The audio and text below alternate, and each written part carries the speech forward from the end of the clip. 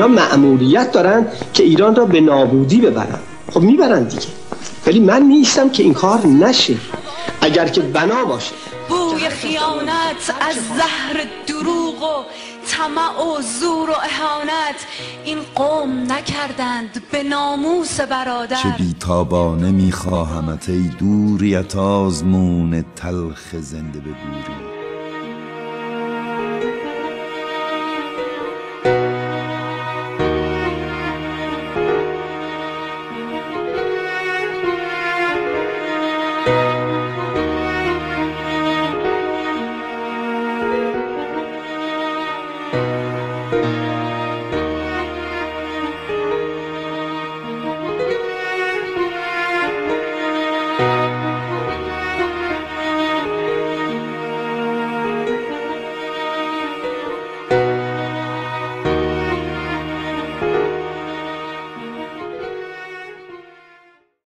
تو را در خیال شب دوش دیدم. از آن بوس بوته ها دسته یاس چیدم. سفر کرده بودم به دامان البرز. ستیق دماوند را می پریدم ز گیلان و مازندران می گذشتم سهرگاه شهمیر ساری رسیدم. در آن سرزمین گل و سبز زاران به جز مهربان مهربانان ندیدم. صدا زد گل یخ که مهدی سفر کرد. همه دیدن شاعر اشکور شد امیدم. به نرگس سرای وطن صبح عیدم. علا اهل بوشهر یک سر بخوانی. بیایید یاران قشقایی من.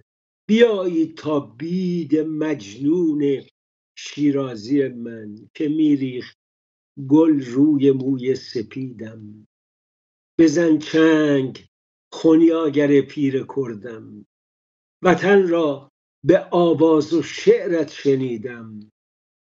از آن عاشق آذری بازگویم که با شوق دیدار او میدویدم.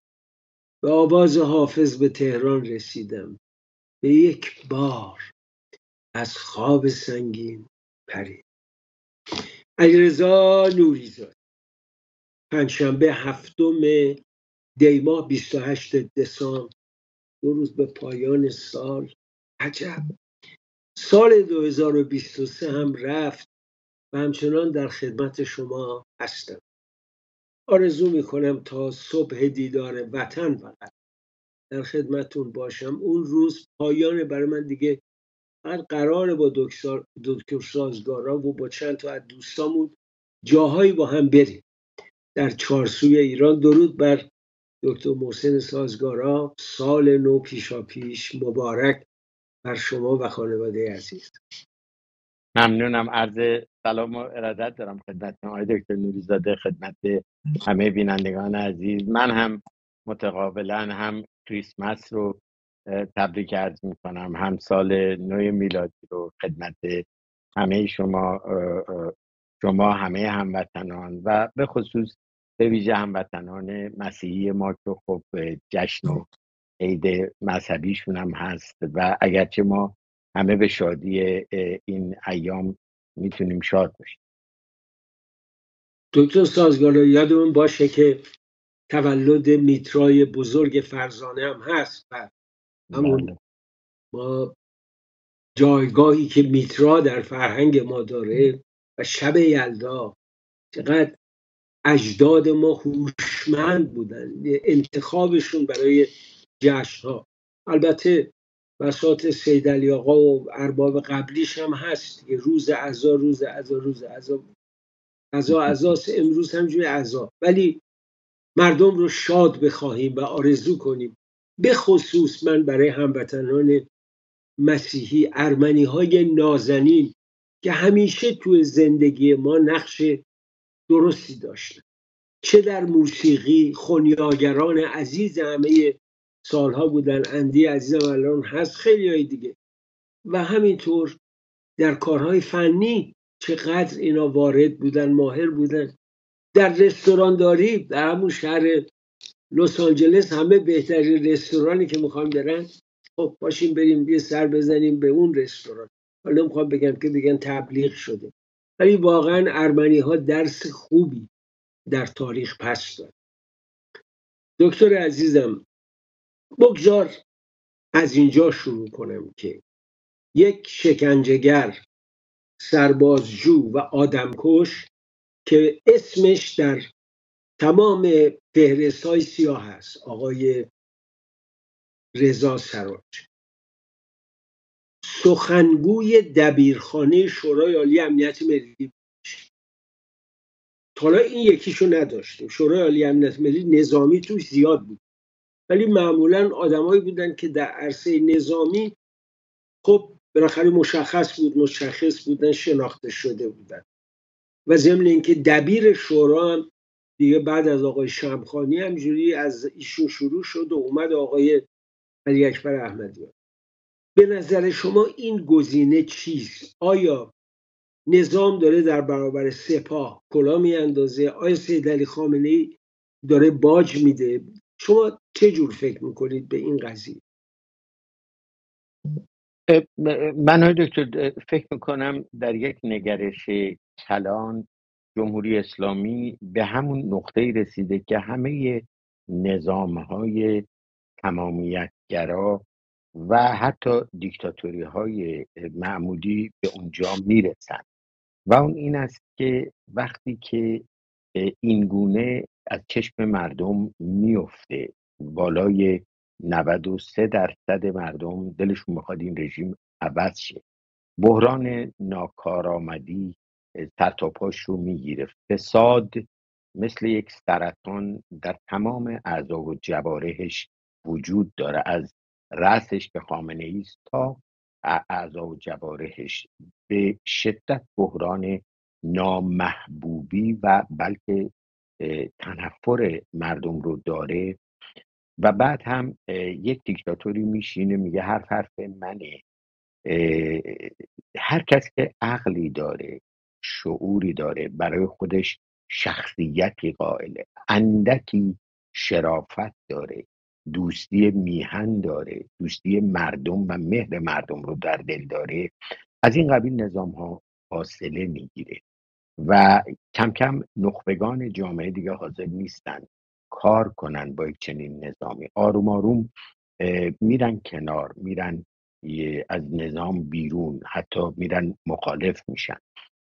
در نتیجه رژیم هم مشکل دیگرش این است که به دلیل بحران هایی که داره نمی‌تونه اعتماد کنه. شکاف هایی که در درونش ایجاد میشه بحران عدم اطمینان هم مسئله دیگه است که فرا می‌گیره. این در واقع اگر باز بخوایم خانم هانارنت رو ملاک قرار بدیم اون کتاب درخشانش راجع به توتالیتاریانیسم رو در واقع در فاز سوم حکومت های توتالیتر که خودش باز چند فاز میشه در مراحل پایانیش این سرنوشت در انتظار همه نظام های توتالیتره که غیر از بحران هایی که ذکر کردم فرا میگیرش و در نسبتش با مردم درون خودش هم نگرانی بزرگش از وفاداریه کسایی که بتونه بهشون اعتماد کنه. به هم دلیل دائما قاعده حرم قدرت و ناچار کوچیکتر کنه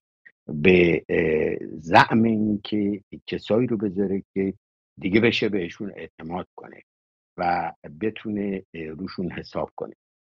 این تصویر کلان به نظر من باعث میشه که نبودن نیروهای فهمیده نخبه با شرف و مردمی و بعد هم ترس از وفاداری باعث میشه که آدمهایی رو که در اون هسته سخت حکومت آدمکشی رو نشون دادن بیشرافتی رو نشون دادن و ولو در زبان دستبوس شخص اول و دیکتاتور هستن و غیره اینا رشد می‌کنن میان بالا. به نظر من این آقای استراج یک قاتل شکنجهگر که قاعدتا پیشینش و نگاهی که بهش میاندازید اهلیت این که در شورای امنیت ملی کشور کار کنه نداره. ولی در واقع از زمره اون کسایی که فکر می‌کنن که اینا باید اداره کنن. شما ببینید همین چرخش از دوره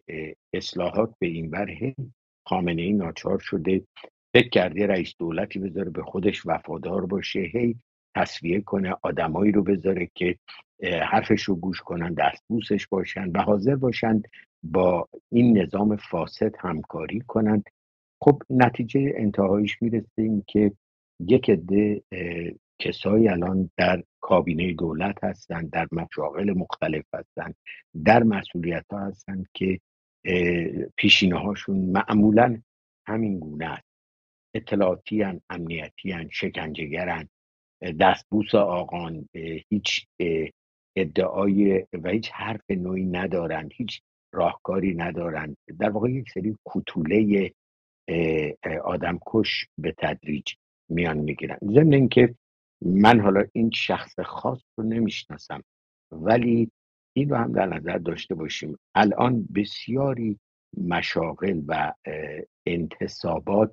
یک سرش هم توی این باندای مافیایی است که سعی می‌کنن جاهای مناسب رو بگیرن به نفع منافع اقتصادی خودشون مواضع قدرتی رو در اشغال کنن که بتونه باند خودشون دستگاه مافیایی خودشون بهتر کسب ثروت بکنه. بنابراین پشت پرده پاره ای از این مشاغل و غیره هم اگر بخواد آدم تصویر کامل داشته باشه نیست که باید ببینه درش به کدوم خلاصه آلکاپون و باند مافیایی هم بسته. بنابراین این جنابی که حالا پیشینش شکنجهگری در اینجا قرار گرفته. به نظر من در این به اصطلاح تعریف میشه جاش و همینطور دکتر این در کارهای تروریستی هم نقش بسیار اساسی داشته در لبنان در عراق در سوریه.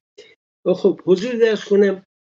دو, دو چیز مهم رو در این روزها شاهد بودیم. یکی آقای صالحی که رئیس انرژی اتمی بود بعد وزیر خارجه شد برحضرش داشته جمهوری اسلامی را از آویزون شدن به سه قدرت. حالا اون آمریکا هم گذاشته وسطش ولی هدف چین و روسیه است. ولایتی اومد روسیه رو محکوم کرد. دولت خیلی بیحال پاسخ داد به کار روسیه در مغرب در به رسمیت شناختن ادعای واهی امارات در مورد سه جزیره همیشه ایران اینو داشته باشید بعد مناظره محمد هاشمی داشتیم با آقای حسین بازجو حسین شریعت مدی یه جوری من به نظرم می‌رسه که خامنه ای درمانده و بیچاره برای اینکه می‌دونه در این انتخابات کسی نمیاد یه مقدار شروع کرده جنجال سازی شما حرفای آقای محمد هاشمی رو که گوش می‌کردی امیدوارم حتما شنیدید شما. سر تا سر دائم بقا معظم رهبری فرمودن اون می‌خواست خامنه ای رو بکشونه طرف خودشون. یعنی مثلا اصلاح طلب مقام معظم رهبری فرمودن اون یکی هم شمشیر کشیده بود برای روحانی و وزراش و خاتمی و بقیه. خب و حتی رفسنجانی. شما به عنوان یه تحلیلگر که قضایی رو از نزدیک دنبال می‌کنید این هر دو وجه رو برای ما بازگو کنید یکی مسئله روسیه و دوم مسئله این مناظره که احتمالا نظایرش رو خواهیم ببینید مسئله روسیه رو قبلا صحبت کردیم. مسئله روسیه در تار و پود نظام جمهوری اسلامی الان روسیه حضور داره. دست داره دست قوی داره و در واقع به اصطلاح جمهوری اسلامی و شخص خامنه ای اسیر در یه انکبوت تار انکبوتی که روسیه یه چهل سال تنیده و در ارکان این حکومت از دستگاه اطلاعاتیش دستگاه نظامیش دستگاه خود بیت رهبری دستگاه غذاییش و پروژه های گوناگون اتمیش موشکیش بخش های مختلف در واقع روسا نفوذ گسترده دارن. بنابراین هر جوری بخوان به اصطلاح خر رو خودشون میرون. خیلی هم دلواپس نیستن که ایران کاری بتونه بکنه. به همین دلیل کارت ایران که دستشون می‌گیرن میرن با عربا که الان دنبال این هستن که هم کلی از پولدارا و همین دوز سالارهای آقای پوتین پولاشون بردن از طریق امارات مثل یه سری دوزای خود ایران. اونجا ده ها و بلکه صدها شرکت گذاشتن زدن. هم اینا رو در امان نگه داره و هم همین که محتاج این نیست که سعودی ها قول دادن برن در روسیه سرمایه گذاری کنن و یا اماراتی ها و غیره. بنابراین هیچ ابایی هم نداره. روسیه از این که باب دل اینا حرف بزنه نگرانی از جیغ کردن جمهوری اسلامی نداره. برای اینکه الان یک دولت و حکومت ضعیف شده تو سری خورده و بی بدون چاره و بیچاره است که در اوج انزوای جهانی به سر می‌بره وضع اقتصادیش خراب. زوری خلاصه نداره که روزها بخوام بترسن. برعکس هر جا دلشون بخواد تو سرش می‌زنن. حالا گاهی که جیغداد زیاد میشه برای حفظ ظاهر دو کلمه تعارف می‌کنن با مقامات جمهوری اسلامی. بنابراین میره پای سندی رو در مراکش امضا می‌ذاره که ادعاهای واهی امارات در اون ذکر شده. منتها خب در ایران هزاری هم افرادی نوکر حکومت بودن می‌فهمند که این یک خیانت ملیه یک چیزی که مهر داغش در واقع به پیشونیشون در تمام تاریخ میمونه. و هم دلیل ما در یه هفته ده روز گذشته شاهد بودیم خیلی ها دست کم زبانی حتی آقای ولایتی روسوفیل و نوکر روسیه غرغر می‌کنن صدا در میارن که بگن ما یه چیزی گفتیم. یا آقای امیر عبداللهیان دیروز تلفنی با پریروز با آقای لاروف صحبت کرده جالبه گزارشی که سمت ایران داده میگه راجع به ادعای تمامیت ارجی و امارات و اینا صحبت شد. اما گزارش که روسا از این صحبت تلفنی دادن اصلا ذکری از این صحبت نیست در صحبت آقای امیر عبداللهیان با لاروف حالا به فرض صحبت هم کرده باشه یا نکرده باشه آقای آقای لاروف هم این گوشش در به اون گوشش دروازه و اگه حالا تشر نزده باشه بالا سر امیر عبداللهیان چون روسا از این عادت های تحقیر کننده هم دارن یا دست بندازه آقای امیر عبدالله بر صورت به نظر من آنچه که روسا دارن می‌کنن در بازی قدرت طبیعیه.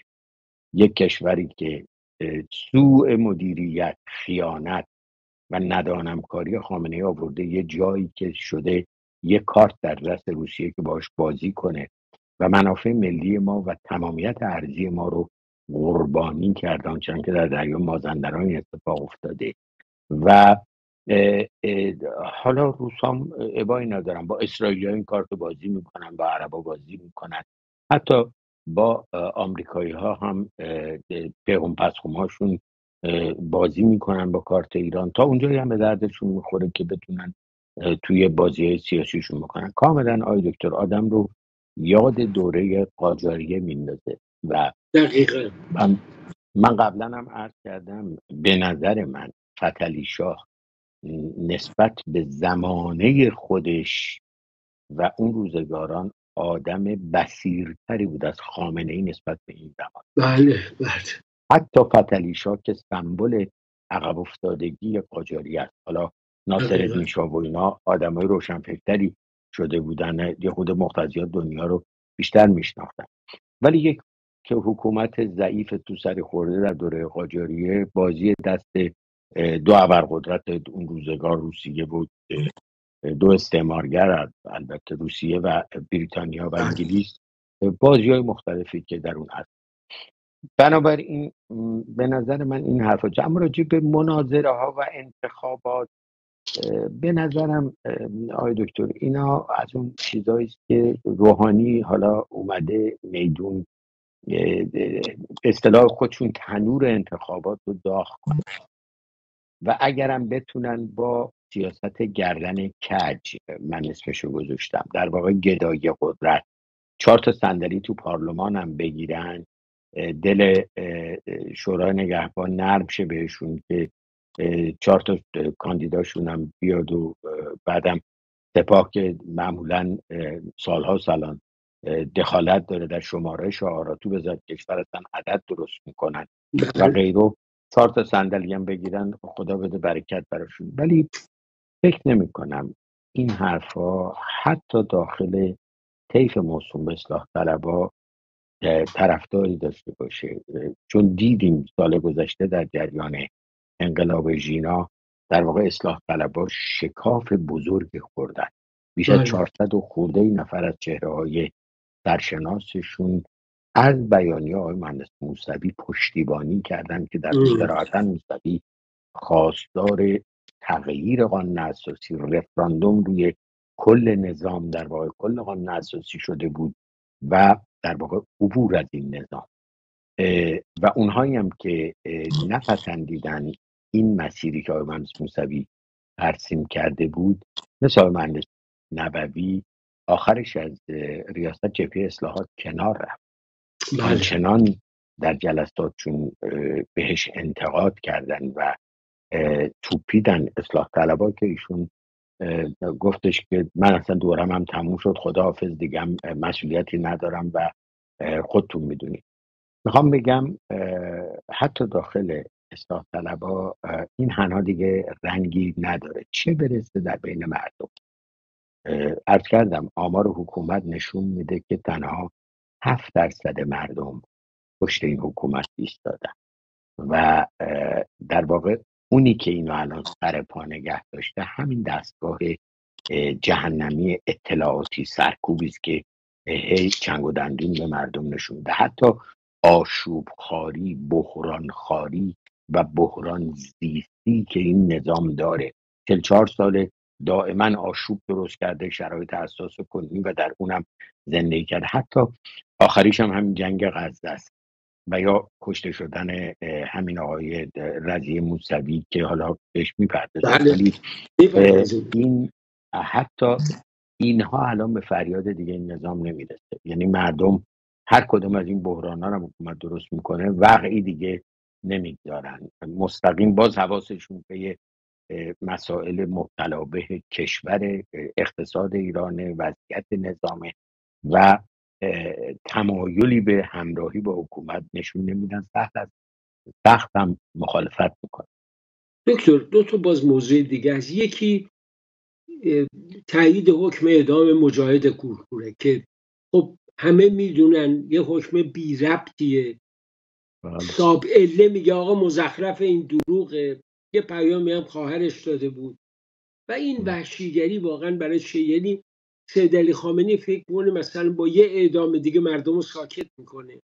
یعنی واقعا اینا پررو شدن و این تقریبا نیمه سکوتی که چند ماهی از تو ایران هست اینا رو مثل که به فکر انداخته که تا تای بازی برن و زمین سازی آقا مشتبه رو انجام بده. اخیرا شنیدم که خامنه ای در یه جلسه به رئیسی گفته بوده که به حال تو یه مسئولیتی داری. یعنی در واقع نقش محلل رو بازی کن. و رئیسی هم خب خیلی خوشحال. چون شما می‌دونی وقتی قدرت خانه تو بغل گرفتی که نمیه بدی به یکی دیگه. حالا هرچی هم بدبخت شیش کلاسه باشی. الان به نظرم دل مشغولی خامنه ای بیشتر مسئله مشتباست. آیا شما در این زمینه شنیدید چیزی یا تحلیلی دارید نه چیز خاصی نشیندم آقای دکتر. الا اینکه این روزها این روزها که میگم مثلا طی چهار پنج هفته گذشته در محافل سیاسی داخل ایران محافل سیاسی به خصوص حکومتی یعنی طیف همین اصولگره ها هم که در قدرتن چون ایران کشور محفل سیاسیه در قیاب احزاب درست حسابی و یه سیاست شفاف که مردم بتونن نظارت کنن کشمکش های سیاسی تو همین محفلات تأمین میشه و تعیین میشه. در محافل سیاسی بحث جانشینی داغ شده. من سعی کردم دنبال کنم ببینم اتفاق جدیدی افتاده. مثلا خامنه این مریضی یه اوت کرده ای داره یا غیره. چیزی نشیندم پیدا نکردم. ولی این درسته. در محافل سیاسی داخل حکومت بحث بحران جانشینی جدی شده و پاره از این کشمکش های اخیر در سیاست داخلی ایران رو باید به اون منتصب کرد. ضمن اینکه قبلا هم عرض کردم فهم درست کشمکش های سیاسی داخل ایران وقتی حاصل میشه که کشمکش های مالی رو ما بشناسیم. این گروه های مافیایی رو و روابط اینا با همدیگه منافعی که گاهی مشترک که گاهی متضاده بشناسیم خطوطش رو رسم بکنیم. به قول امریکایی ها خلاصه دنبال کنیم که پول کجا میره. گرهگاه های قدرت رو هم بهتر می‌تونیم بشناسیم. بنابراین یک پای داغ شدن بحث جانشینی به نظر من به خواستای این باندهای مافیایی هم برمیگرده که دنبال تفت کردن جای پاشون هستن. قبلا مرد کردم به نظر من حالا خامنه ای معروفه که از بوسا هم خواسته حامی به قدرت رسیدن پسرش باشن. یعنی یک خیانت تاریخی دیگه. ولی فکر می‌کنم به تخت نشستن آقا مشتبه به این سادگی صورت بگیره. خدمت ملت ما خیلی بالا و بزرگه. یه نکته بله. رو خدمت بگم. اسم روسا رو آوردی. کهان لندن یک کار خیلی قشنگ کرده بود. اظهارات آقای حسین سلامی فرمانده سپاه رو که گفته بود بله به زودی آمریکا و اسرائیل نابود میشن رو به نابودی از این مزخرف و بعد اومده بود حرفای الکساندر دوگین یکی از مشاوران ارشد یا مغز متفکر یا رئیس اتاق فکر پوتین رو گذاشته که دوشنبه گفته بود که نوشته بود در ایکس جنگ بزرگ به خاورمیانه خواهد آمد و ممکن است کمی دیر باشه اما خواهد آمد. حوثی ها متوقف نخواهند شد. کشتی ها دیگر وارد دریای سرخ نخواهند شد. قیمت نفت بالا خواهد رفت. ایران به تحریکات پاسخ خواهد داد. فروپاشی اسرائیل اجتناب ناپذیر است. ما به آن می‌گوییم آخر زمان. خب آیا روسها تحریک نمی‌کنن جمهوری اسلامی رو که بیشتر در این گودال بره و خودش رو به نابودی بکشونه؟ من آدم گاهی اوقات این حرفا رو مقایسه می‌کنی با این اروتیزایی که این فرماندهان سپاه می‌کنن که بعد از در قسمت دوم راجع به آقا رزی صحبت خواهیم کرد. برای اینکه ضربه کمرشکنی بود. ولی اول دلم می‌خواد در این فرصت کوتاه تا نیمه برنامه شما راجع به این موضوع هم بفرمایید. ببینید طبیعتا آبراهای تجاری و به خصوص مسیر نفت اگر ناامن باشه و منجر به افزایش قیمت نفت بشه به نفت افتاد.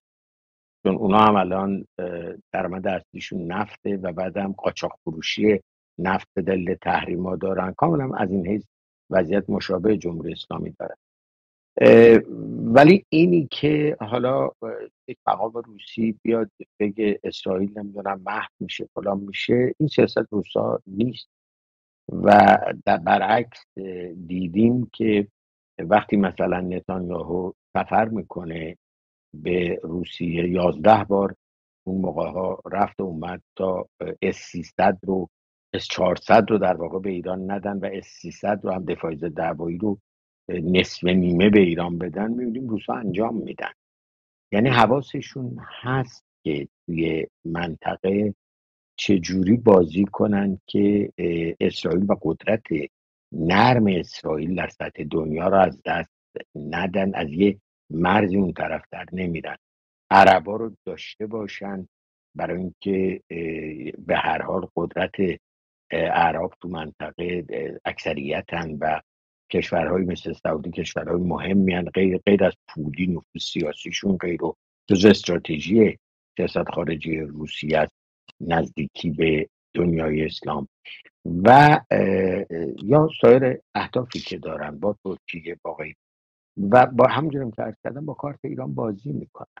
با کارت ایران بازی می‌کنن. بله شاید بدشون نیاد از اینکه جمهوری اسلامی این شر و شورا رو به پا کنه این گروه های تروریستیش رو به جریان بندازه ناامنی درست کنه. چون بهاشو مردم ایران میپردن روسا که بله. می‌پردازن. و اینطور درگیری درست کنه. و بعد مطمئن باشید در دیپلماسی مخفی اون وقت مثلا می‌تونه ادعا کنه که خیلی خوب اگر خیلی دردسر داره درست می‌کنه یا به عربا یا حتی به امریکا یا یا اسرائیل باشه من مثلا افسار جمهوری اسلامی رو می‌کشم و عوضش این پاهنو بگیرم. بنابراین براشون مشکلی نیست که جمهوری اسلامی یه در هیئت یک شرور چاقوکش به هم بزن باشه ولی شروری که بتونه ادعا کنه که گیلش دست منه. و فکر می‌کنم همین بازی رو واقعا می‌کنه بله. روسیه در دیپلماتیش. ممنونم دکتری درنگ کوتاهی می‌کنیم برمیگردیم بپردازیم به یک موضوع بسیار مهم. حاج رزی با ما باشید. شما و محیا حامدی دخترک دسفولی که شهر دردها شهر مقاومت حالا با این آهنگ نفرت خود رو از جنگ باز می‌کنه. درود بر تو. دکتر سازگارا این داستان بعد از کشته شدن قاسم سلیمانی انتخاب اسماعیل قاعانی به عنوان فرمانده سپاه قدس ابروهای خیلی رو بالا بود.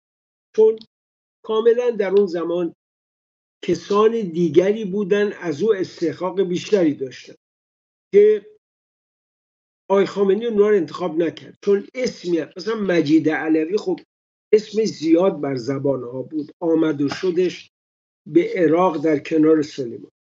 بعد از این مربع مرگ جمهوری اسلامی به هر حال یکان یکان رفتن. یک نفر موند. این آقای موسوی که سرش جنجال نکردن. ولی عملا مسئولیت های بخشی از مسئولیت های قاعانی با او بود. او موتور سپاه قدس بود. یه عنوان دبیر اولی هم در سفارت در دمشق بهش داده بودن. همسرش هم معلم مدرسه زینب بود و به حال اونجا زندگی می‌کرد به عنوان یه دیپلمات. اینکه اسرائیل او رو انتخاب بکنه. در روزی که او دنبال زنش نمیره که از مدرسه بیاره مستقیم از سفارت میاد خونه و سه موشک بزنن که فقط خونه اونو نابود کنن. این نشون میده اسرائیلی از جایگاه او با خبر بودن و به نظر من بعد از قاسم سلیمانی نه ابو مهدی مهندس و نه اماد مقنه هیچ کدوم اینو در حد این آدم نبود. این آدم خیلی فعال در واحد 800 و 840 سپاه قدس و واحدهای دیگه فعال. اعتقاد شما این گزینش از جانب اسرائیل آیا یک نوع مثلا انتقامگیری از داستان غزه بود یا چون او نقش داشته یا در واقع یک سیلی بود به جمهوری اسلامی برای دریای سرخ نظر شما چیه که انتخاب او در این شرایط. والا من البته این آقای رضی موسوی رو واقعیتش نمیشناختم نمیشناختم بله. خیلی سرصدایی نداشته. من حتی دنبالم کردم ببینم کسای دیگه هستن بیشتر از من شناخت داشته باشم پیدا نکردم. چون این نقشی که بعد از کشته شدنش الان داره مطرح میشه که نفر اصلی و اول لوجستیک سپاه بوده در منطقه برای کشورهای به اصطلاح محور مقاومت و غیره. خب نقش بزرگیه و خیلی تعجب انگیزه که علنی توی خونه زندگی کنه اسرائیل هم بدون اونجاست و زنش هم بره مدرسه رد پا داشته باشه. چون اسرائیل خب دیدیم تعارف نداشتن. بارها زدن کشتن در سوریه. بنابراین یه مقداری ماجرا از نظر من مبهمه به خصوص اینکه حالا تمام این مقامات جمهوری اسلامی از وزیر خارجه تا فرد سپاه تا غیره الا خود خامنه ای اومدن میدون که ما انتقام می‌گیریم. تابان اسرائیل میده. یعنی یه توقع حد اکثری هم دارن درست می‌کنن. که لابد ببینیم حالا قراره چیکار کنن چه بلایی سر اسرائیل بیارن. این راجع به ماجرا. ولی دو تا نکته رو میشه گفت. یکی اینکه آیا اسرائیلی ها ضربه ای که در هفتم اکتبر بهشون وارد شد با عملیات حماس بعد از پاکسازی حماس در غزه که ظاهرا سه ماه چهار ماه حتی تا شیش ماه گفته میشه طول خواهد کشید. آیا اسرائیلی ها انتقام نخواهند گرفت از بانیان و طراحان و غیره؟ خیلی داشتم ایرانیان تاریخ اسرائیل نشون داده که اینجوری نیست. اسرائیلی ها تلافی می‌کنن. یادمون نرفته دیگه المپیک مونیخ اسرائیلی ها بعدا هر کی تون عملیات دست داشت در هر جای دنیا بود پیدا کردن و ترورش کردن انتقام گرفتن. موارد دیگه هم بوده. الان خب مطمئن باشید سران حماس رو هم اسرائیلی ها رها نخواهند کرد بله، و بله. اونها رو هم بالاخره یک جاهایی اگه تو غزه باشن میکشنشون هر جای دنیا برن صد سال بعدم باشه میرن گیرشون میاد بنابراین اون مسئولینی از سپاه با همه محرمانه نگه داشتن این عملیات یا دستگاه اطلاعاتی جمهوری اسلامی که در این عملیات غزه نقش داشتن دیر یا زود به نظر اسرائیل سراغشون خواهند حالا چقدر چطوری چگونه باید ببینیم آینده چی میشه. ولی لذا می‌تونه اینجور که میگن حالا این آقای سید رزی در این عملیات هم بوده که شما هم اشاره می‌تونه بخش از این باشه. اسرائیلی ها به یعنی شروع عملیات انتقام گیریشون باشه. اما نکته بزرگتر به نظر من این است که ببینید تنش بین جمهوری اسلامی و اسرائیل. دو کشوری که دو دولتی که دو حکومتی که خب دشمنترین حکومت در منطقه و هر کاری از دست جمهوری اسلامی بر بیاد علیه اسرائیل می‌کنه. اصلا این محور مقاومت و گروه های تروریستی اینو یه بخش بزرگش معطوف به اسرائیل و هر کاری هم از دست اسرائیل بر بیاد علیه جمهوری اسلامی می‌کنه. ترور داخل ایران ضربه زدن و غیره. این ماجرا به نظر من بعد از غزه و این کاری هم که الان اسرائیل کردن کاملا انتظار میشه داشت. تنش بین دو کشور بازم بالاتر. ابعاد تنش بین دو کشور بالاتر بره و دیدیم در زوایای مختلف با همدیگه دست و پنجه نرم می‌کنن. آخری شاید از جانب اسرائیلیا قبل از این حمله موشکی که رضیه موسوی رو کشتن مسئله حک کردن سیستم سوخت ایران بود. بله. گردن نگرفتن اسرائیلیا ولی همه هم میگن اسرائیلیا کردن. یه جورایی هم از کنارش رد میشن و نشونی میدن که در واقع انکارم نمی‌کنن ما دست داشتیم. یا برعکسش جمهوری اسلامی هم به هر حال دستش برسه. دیدیم یا آخریش همین کاری است که با دست حماس حماس در واقع دست اسرائیلی ها دادن و جنگی که آتیشش رو به پا کردن. سوال الان در واقع سوال یک میلیون دلاری این است که جمهوری اسلامی که داره میگه من تلافی می‌کنم چیکار خواهد کرد؟ درست. در چه سطحی؟ آیا از ایران مثلا به سبک پایگاه این الاسد در انتقام قاسم سلیمانی موشک روونه اسرائیل خواهد کرد؟ من بعید می‌دونم آیا یعنی می‌دونن من یه زمانی از یه نظامی امریکایی شنیدم بس همین کشمکش ایران و اسرائیل بود می‌گفت شوخی نداره. اگر از ایران موشک به سمت اسرائیل بیاد امریکا هم وارد میدون میشه. اینو ایرانی هم می‌دونن. بنابراین اصلا از این شوخی ها نداریم. آیا مستقیما در واقع جمهوری اسلامی به خاک اسرائیل و به درون اسرائیل درگیر میشه؟ خیلی بعید همچین دیوونه بازی رو ندیدیم تا حالا خامنه ای بکنه چون باید او تصمیم بگیره آیا به دست حزب الله تلافی خواهند کرد؟ یعنی حزب الله مثلا بازم به نظر می‌رسه نخواهند کرد. برای اینکه اختاری که اسرائیلیا و امریکایی کردن که حزب الله اگر دست پا خطا کنه ما میریم تو بیروت رو می‌گیریم. و بعدم از چشم از چشم ایران می‌بینیم. اینو صراحتا بایدن تو پیغام خصوصیش با خامنه ای دیدیم هم که دکتر به کل ضد هر نوع عمل نظامی. دقیقا. یعنی اون حسن نصرالله آدم زرنگی هم هست. جا به جای یه چشش هم به اون به تخت نشستنش تو لبنانه. دستگاهی داره برای خودش. نون مواد فروشی می‌خوره و امپراتوری مالی و مافیایی و نظامی و نمی‌دونم سیاسی و همه چی داره اینو حاضر نیست به این سادگی به هم بخوره. بنابراین میبونه این که حالا جمهوری اسلامی چه کار خواهد کرد. من حدسم اینه ببینید اینا خب از همدیگه شناخت دارن. اسرائیل دستگاه اطلاعاتیش تو منطقه در امارات حضور داره در آذربایجان حضور داره در شمال عراق و کردستان حضور داره. خیلی جاها هستن. و اینجوری نیست که جمهوری اسلامی هم نشناسه. احتمال میدم که اگه زور جمهوری اسلامی برسه بعضی از این خونه تیمی های به اصطلاح اطلاعاتی اسرائیل رو که شناسایی داره بخواد ضربه بزنه و بعد بگه که خب ما تلافی کردیم.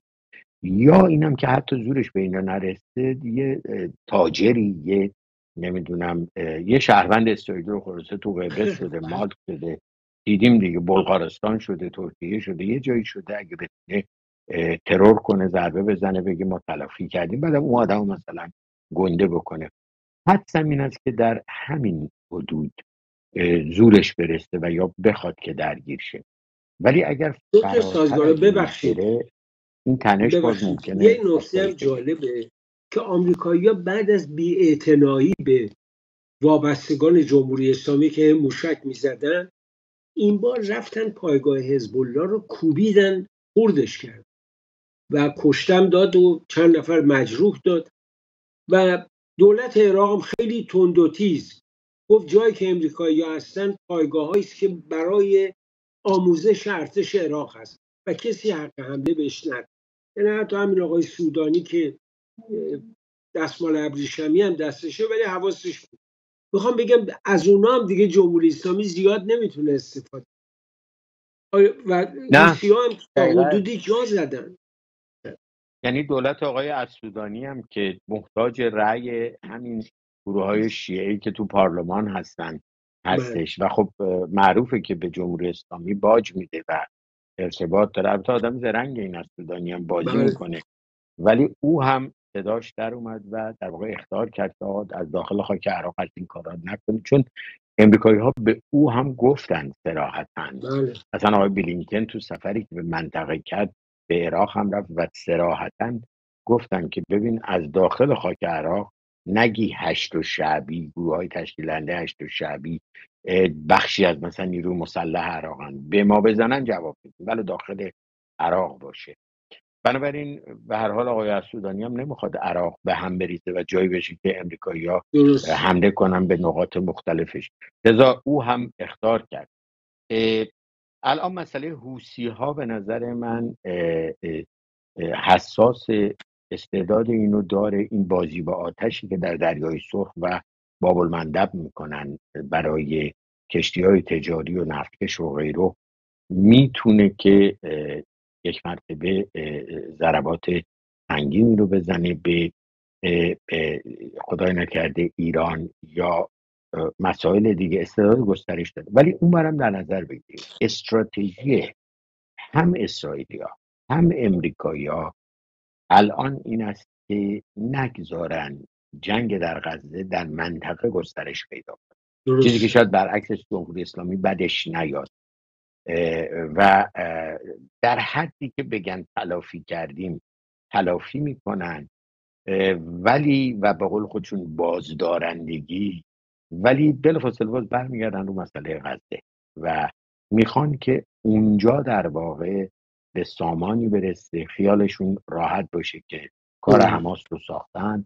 مرحله به اصطلاح اون مراحل سگانه ای که کلاسیک علیه به اصطلاح تروریستا به کار میره. وقتی یه منطقه رو گرفتن به اصطلاح کلیر کنترل و بیلد این به اصطلاح کلاسیک نظامی است وقتی یه منطقه اینجوری اول باید پاکسازیش کنن تروریستا بعد باید کنترلش کنن و در مرحله بعد باید, باید پاکسازیش کنن بسازن که دوباره رشد نکنن.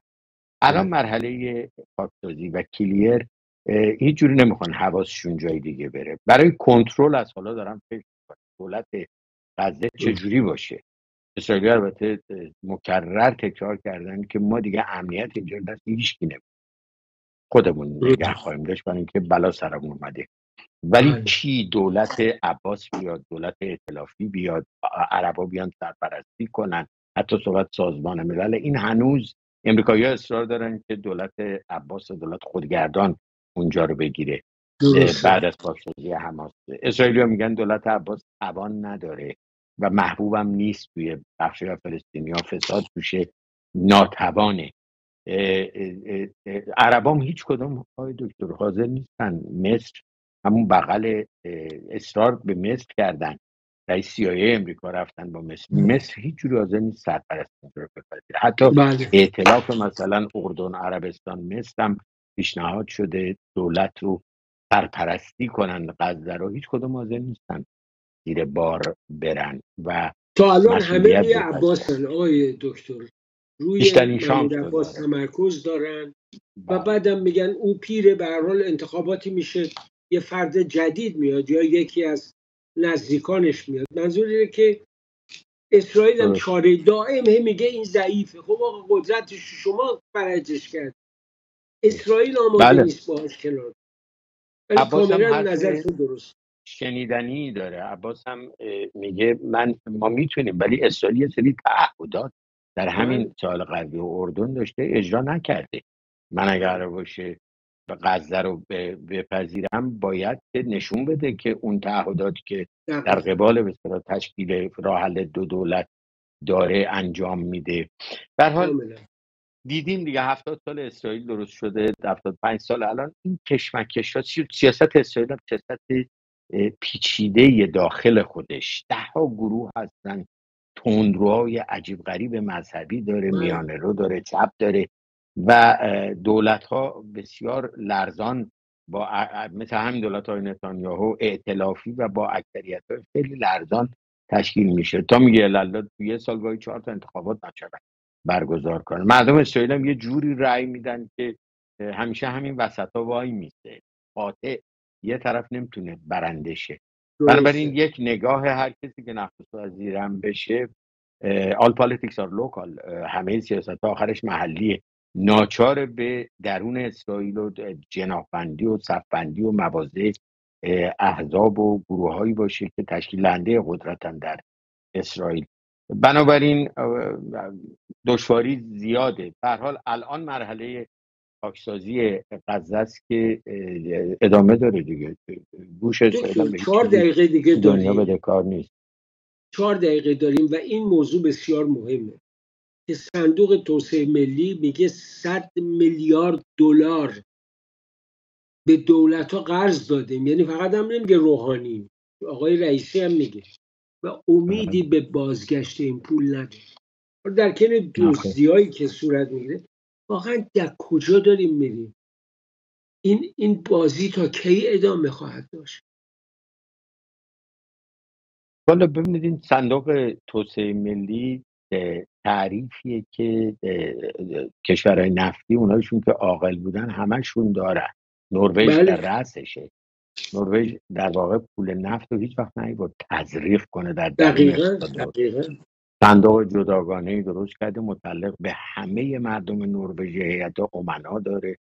در کویت هم همینطور دکتر 25 درصد میره اون تو. بله. 25 درصد. کشورهای حاشیه خلیج فارس هم کشورهای نفتیشون تو صندوق های توسعه ملی اینجور نبوده. هرچی در من نفت در بیارن بیارن بریزن بپاشن و پولشون سقوط کنه. بلاهای سر اقتصاد ایران اومده. در اول ظاهرا در صندوق مثلا توسعه ملی امارات ابوظبی البته نفت دستشه بالای 300 400 میلیارد دلار پوله درست. یا یا سعودی ها یا کویتی ها یا دیگر ها بله. جمهوری اسلامی هم این رو از روی مدل اونجا درست کرد بله.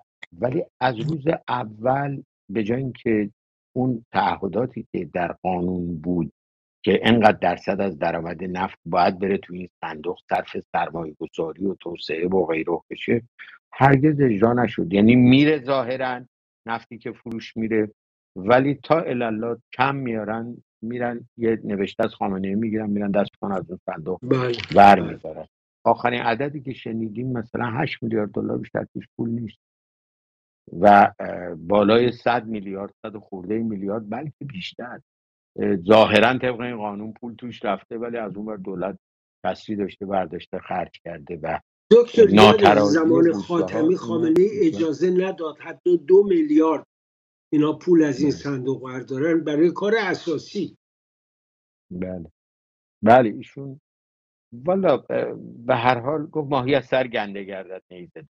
هر وری ما تو اون مملکت میچرخیم علت العلل و پایه و بنیاد مشکلات کشور ولایت فقیه مفهوما و مصداقا یعنی هم اون جایگاه و این اختیاری که یک نهاد داره بدترین نوع حکومت و هم شخص خامنه ای که این جایگاه رو اشغال کرده با.